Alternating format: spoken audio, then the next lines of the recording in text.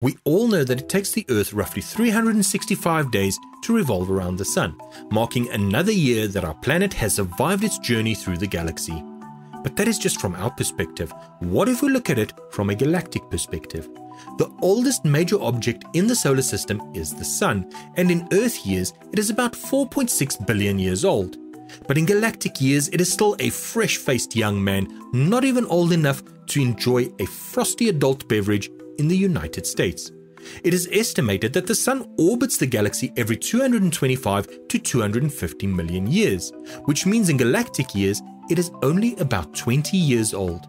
Now, this is where things get interesting. In galactic years, the Big Bang only occurred about 61 years ago. Dinosaurs walked the Earth one year ago, and modern human beings made their first appearance about 0.001 years ago.